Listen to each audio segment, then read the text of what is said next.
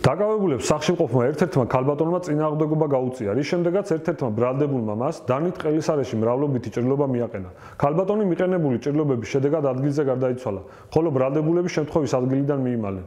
მათ ტანსაცმელი და დანაშაულის ჩადენის იარაღი დანა მიმალვისას საავტომობილო გზაზე მოძრაობისას გადაყარეს.